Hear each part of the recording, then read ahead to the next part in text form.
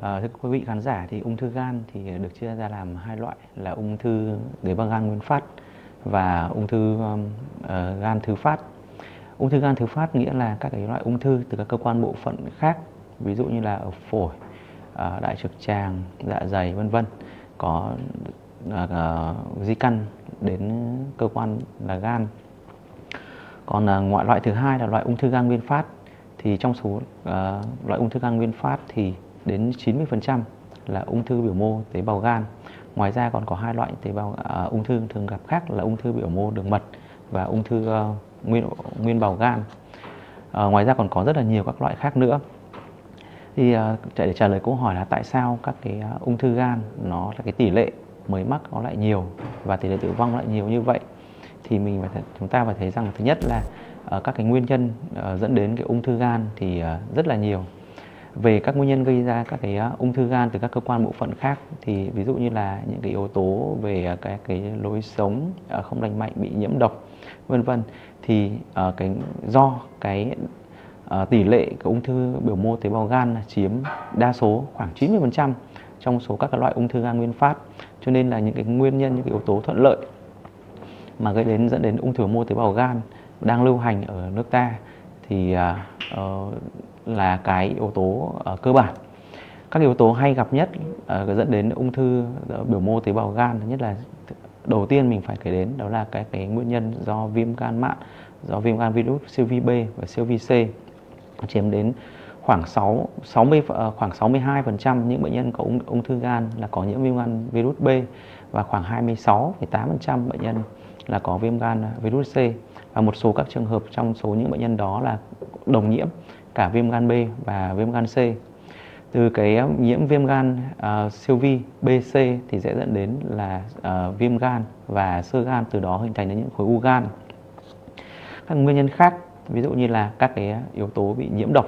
do uh, đặc biệt là aflatoxin ở có trong gạo lạc mốc. Uh, yếu tố tiếp theo là những cái uh, bệnh sơ gan không do uh, viêm gan ví dụ như là thường hay gặp nhất đặc biệt là ở với cái nam giới của nước ta đó là tình trạng lạm dụng bia rượu thì dẫn đến cái viêm gan và sơ gan từ đó hình thành đến khối u gan. Các nguyên nhân uh, ít gặp hơn ví dụ như là các cái bị nhiễm ký sinh trùng hoặc là các cái bệnh sơ gan mật uh, tiên phát các cái một số bệnh rối loạn chuyển hóa sắc tố sắt. Thì đại đa số các cái bệnh nhân mà ung thư uh, ung thư gan À, đến với bệnh viện ca chúng tôi thường là ở những cái giai đoạn là giai đoạn uh, trung gian giai đoạn tiến triển do cái bệnh gan tiến triển uh, âm thầm. Và khi mà bệnh nhân có những cái triệu chứng ví dụ bị đau tức vùng bụng bị vàng mắt vàng da chán ăn thì khi đi khám là thường là có nhiều khối u hoặc khối u nó cũng tương đối lớn. Do đó cái việc mà chỉ định điều trị ở ở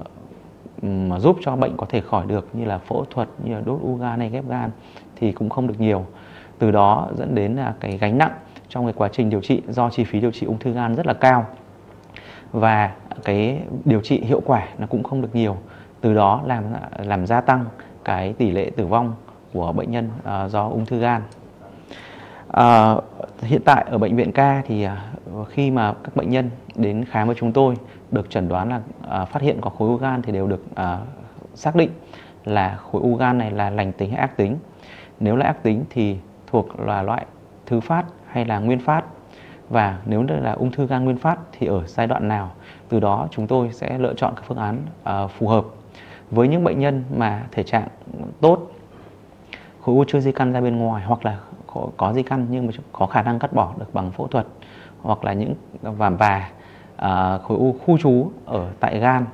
Chức năng gan còn tốt chức năng uh, uh, thận hô hấp vân vân nó không có những cái chỉ chống chỉ định của phẫu thuật. Thì chúng tôi sẽ lên những cái kế hoạch điều trị cho bệnh nhân. Nếu như mà khối, những khối u nhỏ mà có thể uh, tiếp cận được bằng uh, siêu âm thì chúng tôi có thể uh, sử dụng biện pháp điều trị đốt sóng cao tần hoặc đốt, đốt u gan bằng vi sóng. Với những bệnh nhân mà khối u lớn hơn đòi hỏi cần phải một phương pháp điều trị triệt để hơn. Chúng tôi sẽ uh, lên kế hoạch phẫu thuật cho bệnh nhân. Hiện tại về phẫu thuật thì chúng tôi có thể phẫu thuật đã cắt được cắt gan lớn cắt gan nhỏ có thể cắt gan được theo giải phẫu hoặc không theo giải phẫu. Ngay cả với những bệnh nhân mà tại thời điểm mà đến khám ở bệnh viện thì à, do cái phần gan cắt bỏ quá lớn à, thường khoảng hơn 50% cái tổng thể tích gan toàn bộ, thì chúng tôi à, có thể đo xác định chính xác cái lượng gan mà mình cắt bỏ, lượng gan mà mình giữ lại, dự kiến giữ lại sau khi mà mình cắt bỏ gan. Nếu như mà thể tích gan còn lại mà đủ thì chúng tôi sẽ tiến hành phẫu thuật ngay cho bệnh nhân. Còn trong trường hợp mà thể tích gan còn lại không đủ thì chúng tôi có thể kết hợp với các bác sĩ điện quang can thiệp như để làm cái biện pháp là nút tĩnh mạch cửa hoặc kết hợp giữa nút tĩnh mạch cửa với nút tĩnh mạch gan để làm phì đại cái phần gan mà mình giữ lại, làm tăng cái tỷ lệ phẫu thuật. Hoặc trong trường hợp mà đòi hỏi cái à, tăng thể tích gan nhanh với những bệnh nhân có khối u gan lớn thì chúng tôi có thể kết hợp à, sử dụng cái biện pháp phẫu thuật Amper tức là mình sử dụng à, kết hợp phân vùng gan với cả thắt tĩnh mạch cửa ở trong phẫu thuật để làm tăng cái khả năng À, phẫu thuật cho bệnh nhân, giúp cho bệnh nhân cái khả năng điều trị triệt căn nó được tốt hơn. Xin hết ạ.